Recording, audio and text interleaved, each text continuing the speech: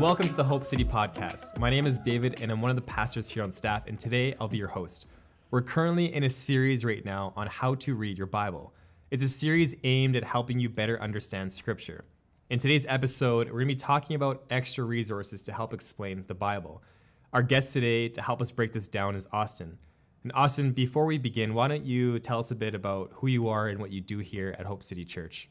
Yeah, I'm one of the children's pastors here at Hope City. Uh, mainly working with the elementary age kids, just pointing them towards Jesus and kind of teaching, explaining what they what he has for their life. And where are you from originally? Uh, I'm from Abbotsford, BC. Okay, and you've been here for a couple of years? Uh, three and a half years now. Oh, three and a half. Oh, time's flying by, man. Yeah, it's crazy. Yeah, and how many kids do you find come out on a Sunday, average? Yeah, on a Sunday morning here over our two campuses, we have about 500 kids. What? Yeah. A lot of kids. Yeah. yeah. Well, you guys are doing a great job, so keep doing what you're doing. awesome. Thank you. All right, let's get into this. So, the Bible, extra resources. We had a episode with Kate where she talked about study Bibles and how to use those mm-hmm. properly, especially when the bottom half of the page is a commentary, and these guys, these scholars, have written notes to help explain specific verses, but there are a ton of resources out there that maybe people don't really know of that can actually help explain more of the Bible. Um, in your experiences, when you do stuff or you're teaching a lesson to the kids, how do you navigate or what do you use in terms of resources to explain the Bible? Yeah, it's incredible the amount of stuff that you can find online these days. There's so many different teachers and pastors that do incredible work. Yeah. Um, and they upload it online for free. Uh, Which wh- is nice. Yeah. Thank you. It's it's it's so great. Um, and even when it comes to kids too, there's churches that develop kids curriculums, um, and they'll even post those online for different churches to use to help uh, teach the Bible at a kid's level. Well, it's nice. It's sharing, right? Yes. Yeah. Oh, yeah. Yeah. If you are those, can we like access those in terms of like just a website, or do you need to be a part of a program for a subscription, or how does that work? Yeah, lots of them uh, churches just have their own resource websites that they'll put online. Yeah. Uh, some of them do. You have to sign up and give them your email address. Um, you know, sign up for the email. Yeah. So they'll send you, and you just uns- unsubscribe Yeah. after yeah. you get it. But Bla- Plaster Um, with emails. Yeah.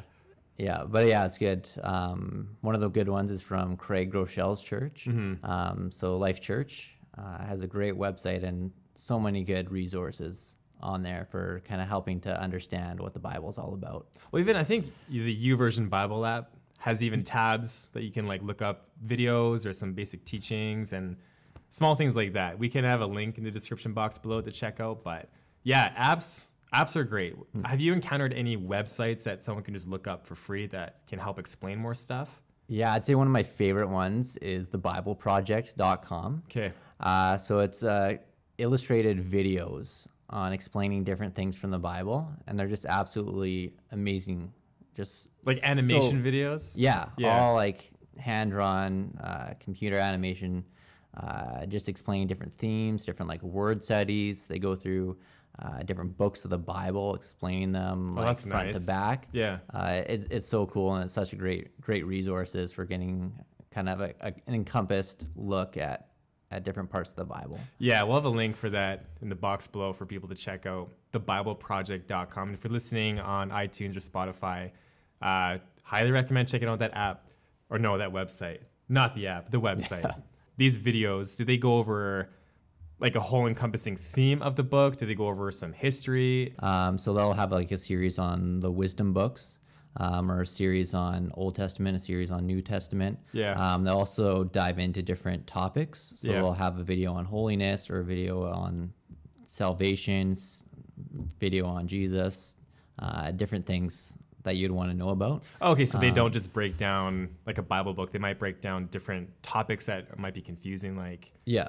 Even like, like, the Son of Man. oh, okay, yeah, yeah. What is that? What does that mean? The Day of Atonement. Okay, And they'll break down, and, and the videos are great. They're like five minutes, 10 minutes tops. yeah. um, and they just really creatively explain these these things, and they even do some word studies as well. Oh, Um, so what's a word take- study for people who may not know? So they'll take a word that's commonly found in the Bible. Um, like one of them is transgressions. Yeah. uh, found a lot in the Old Testament. Yeah. Um, so they'll break it down all the way to the Hebrew word, Um, and then they'll go and see where else it's used in the Old Testament, how is it used in the Old Testament, um, and compare it with different verses and try to find out what that context is um, exactly for that word. Well, that's handy. Yeah. And that's like stuff I learned in Bible college, and there's this website that just does it for free. Hey, Yeah. that's so nice of them. yeah. that's pretty sweet. Yeah, but yeah, then one of my favorite ones that they do is they do um, one called Read Scripture. Yeah. where they'll take about a ten minute video um, on just one book of the Bible. Oh, And they'll, wow. they'll explain the whole overview, start to finish, of that book of the Bible Mm-hmm. and how it all works together as one book and also fits in with with the rest of the Bible. That's So, huge. Yeah, Yeah. especially when you're looking at books like Leviticus Yeah. or Deuteronomy, and you're like, it's, they're longer books. You're like, oh, what is this about? What does this mean? Why does this apply to me? Okay, Um, so they don't they interconnect themselves. Yeah, it Okay. really puts it in context. Okay, why is this book in the Bible? Why is it important? Why is it there? Yeah, it which is kinda- it's so important. I mean, even Kate was talking about how important context is to know. And a lot of study Bibles give you good context. Mm-hmm. I do find like even when I was in Bible college, we got a lot of books. Right? Where'd you go to Bible college? I went to the summit uh, Okay. in BC. Yeah, I went. To, I went to Vanguard here in uh, Edmonton, and my like first day there, I'm getting all these books I didn't even know existed. I, I had a study Bible, which is like my source of information and and extra research. But there are so many books out there that you can't find in chapters. You can't find it in Indigo, but there there are there are on Amazon. And when I found out what these books can offer, it blew my mind in the aspect of what there is out there for me to know. Um, one book I found that I got from Vanguard that I absolutely love is this book called Epic of Eden. Have you se- have you seen this book? I haven't. No. Okay, this book is called The Epic of Eden: A Christian Entry into the Old Testament by Sandra L. Richter. This book is so easy to read, but it gives you a quick snapshot of major themes in the Old Testament. Now, the Old Testament's been a book that I've always shied away from when I was younger because I didn't understand history, I didn't understand context. There was language in there that uh, was very Jewish, and then the culture, and so was beyond me. But this book breaks all that stuff down in a way that's understandable for our day and age now and relatable. And when I understood it, it opened up the Old Testament in a way for me that actually brought more life. And so when I did read the Old Testament on my own, it helped me understand things I never saw before, but gave me context to understand things in the New Testament, which was nice. So it does point things to Christ, uh, how Christ fits in with some stuff in the Old Testament, amazing things. But do you have any books that you've read or maybe found, I don't know, in chapters or on Amazon that you would recommend when it comes to extra resources? Yeah, so Andy Stanley, his most recent book that he put out, uh, Irresistible, uh, and he breaks down kind of yeah, Old Testament versus New Testament, Hmm. um, which I found incredibly interesting, right? Yeah. Because Old Testament, you look at that and it's all the Jewish history, the Israelites, um, and you try to think, how okay, how does that apply to my life, right? Yeah. How does that apply post Jesus? Right. So it brings some context and delight of that, of how I can take that Old Testament scripture Mm-hmm. and bring it into to my daily life. Which is good. I remember uh, there's this book. I'll show the YouTube audience here. It's called Everyman's Talmud. All right, Abraham Cohen, awesome name, very Jewish name.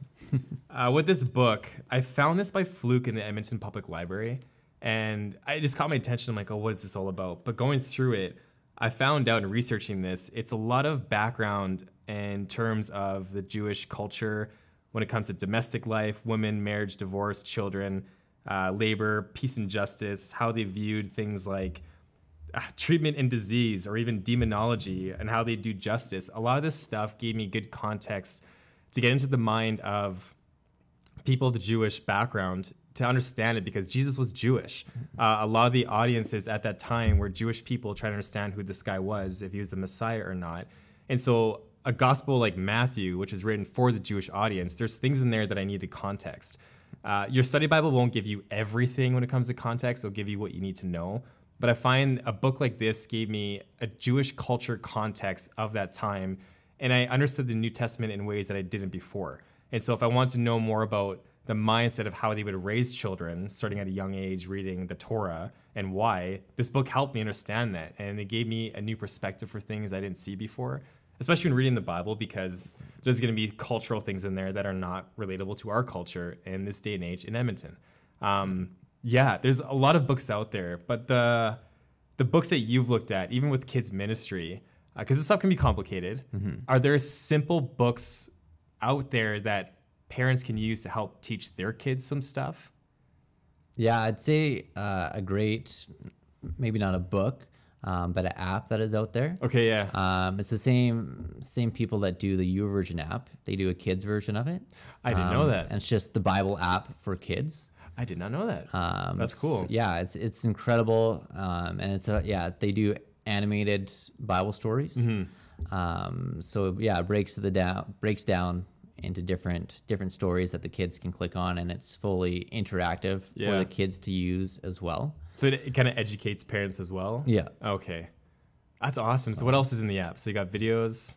Is there like text stuff or anything? It's uh, kind of like a like an interactive experience uh, for the kids to go through, um, learning the different different Bible stories.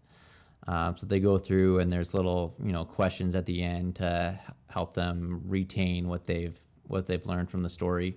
Oh, cool. Um, different things that they can go to, kind of you know games, activities, you know things that they can find Yeah. throughout the story to get points to uh, encourage them to keep keep reading. Is there like a minimum So- age for the kids? Like, like a, can a two year old do this app or? the stories can read themselves. Oh. Mm-hmm. Um, so you can put the audio on and it will read the story for you. So as long as they're old enough to, to listen along and Yeah.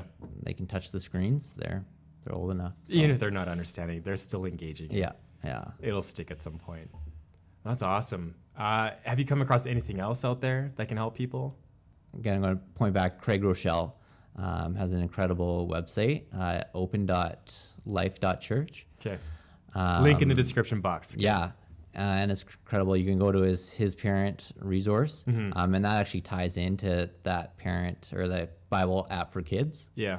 Um, so those those same resources will tie into that app that you can use with the kids. Mm-hmm. Um, but another one is parentcue.org. Okay. Um, and that uh, has like blogs and articles as well, written by different ministry leaders, different parents, different people that are just trying to raise kids Yeah. um, in this day and age, um, and just give that kind of how to raise your kids and then how to impart faith, how to teach faith, how to instill all that stuff into your kids. That's huge, especially for parents, Um, yeah. man. Yeah. So, and they even have a resource on there that kind of breaks it down into phases. Mm-hmm. Um, so, kind of how the kids understand things at different ages. Interesting. Um, so, you can make sure that when you are reading the Bible or doing prayers with them, um, that they're getting that specific age appropriate. Man, this would help Content. adults too. Yeah. Honestly, this stuff is great for kids because I do remember one time I talked with a woman.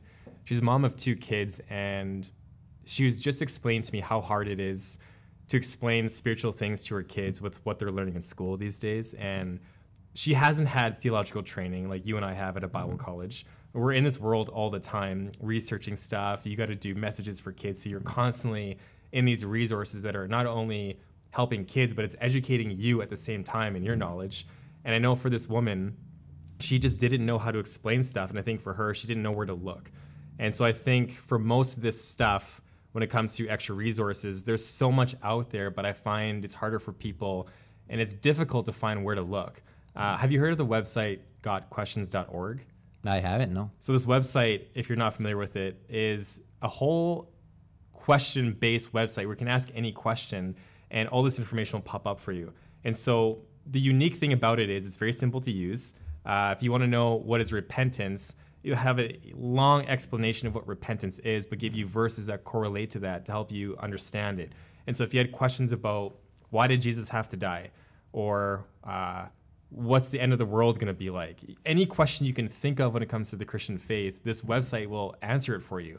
I've used it before for message prep if I had to preach. Uh, just to get more clarification on things because the Bible's a big book. There's a lot of information in there. There's a lot of Jewish cultural stuff that I'm not always familiar with, and I need more education that way. But it's an amazing resource to understand big topics that you're confused about, especially things like predestination. Eh, We're not going to get into that right now, okay? Just as a forewarning, we'll not talk about that because that is a big topic. But things like questions about heaven and hell, uh, issues when it comes to uh, rights of women, uh, how does that all affect the things in our world when it comes to being a Christian? check out that website, gotquestions.org. And again, we'll have a link for you in the description box below. Okay, so a lot of online stuff. Have you come across anything else uh, when it comes to extra resources? Yeah, so I think a great thing to have too is a Bible dictionary, um, which you can find online as well. A great resource for that is Bible Tools, BibleStudyTools.com. Okay. Um, and a Bible dictionary, just you know, you type in the word or the person or the place that you need more information on, and it will give you a, a description of what that is. So if you want to know more about Aaron, Moses' brother, you can search up Aaron, and it'll give you a history of who Aaron is. You know where you can find him in Scripture, um, his background, or if you want to know more about Galilee, you can search Galilee, find Hmm. that, and it'll give you kind of some background on Galilee and whatever whatever biblical place, person, thing that you you want to know more about. Yeah. Um, you can look it up in the Bible dictionary. Oh, that's um, handy. and you'll get lots more information on it, which is good if you just need that extra clarification or Yeah, even context, about who it right? is. Yeah. Yeah. Yeah, especially context, which is huge. Yeah, That's especially awesome. like even Old Testament, there's so many different people or kings or Yeah. prophets that just pop up in a sentence or two. Does it does the Right. dictionary tell you how to pronounce the names? Uh, probably if you do it an online one, you can press that Just Google button to how to say this name in the pronunciation. Yeah. Bible. yeah, totally. Okay, what else have you Um, found? So yeah, so that's good. And even for BibleStudyTools.com has like a concordance on it as well. Mm-hmm. Um, so I think that's been talked about with the Study Bible Yeah. um, concordance, where you know someone already has gone through and um, written out what that passage is all about and Mm-hmm. give more understanding to it. Yeah. Um, but yeah, another one is Logos. Um, so it's a program that lots of pastors use. Yeah. Um, you can get really intimidated by it. If you go on their website, you know, they have like $4,000, $5,000, $6,000 packages for it.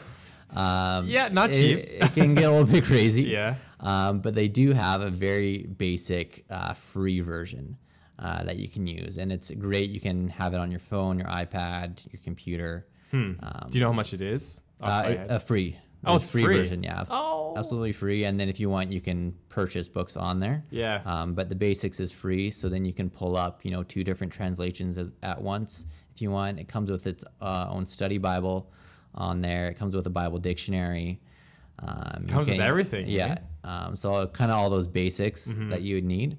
Um, it comes with, and you can you know do all your highlighting, your underlining um, that you need to do, all those different. and you can use it on your and- iPad and phone, right? yeah, Yeah. You can ha- have it on the go. You know, has that search function if you need a, a search for something. If you're, you know, looking up what does the Bible say about money, Yeah. you can search it up on there, and I'll give you all the passages. It's got word studies on there that. too. Yeah. This seems like an all-in-one So, package. yeah. Yeah, with a cost. Yes. But Yeah, there's a free wanna- version. Yeah. Yeah, that's good. So the website I'm assuming would be logos.com. Dot com. Yeah. Okay.